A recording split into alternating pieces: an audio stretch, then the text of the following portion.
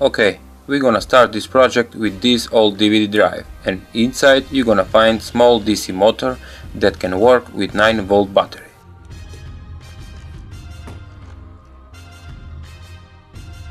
Next you will need 3 soda caps, 1 toothpick and 1 coke straw. With glue gun we're gonna glue everything on this toy, so let the glue gun work all the time.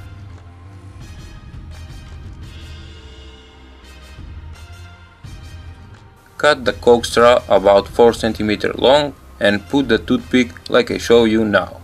On other side also glue the soda cap and after leaving to dry you should get something like this.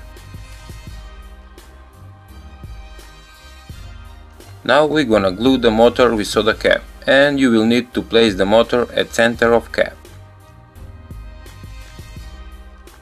On one side of 9 volt battery we're gonna glue the wheels and make sure that are spinning freely.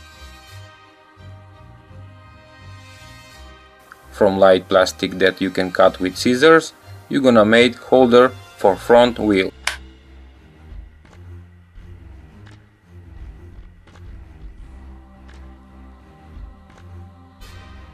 One side you're gonna glue it on 9 volt battery, like I show you now, and on other side you're gonna glue the motor.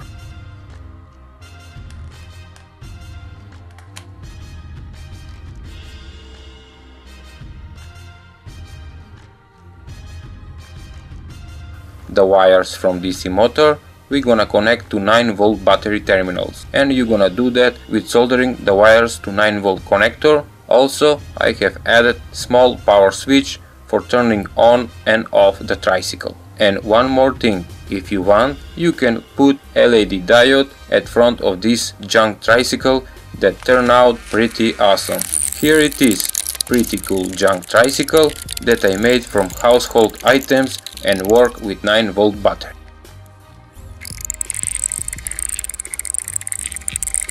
Thanks for watching, subscribe to my channel and visit my other video projects. I have over 300 projects.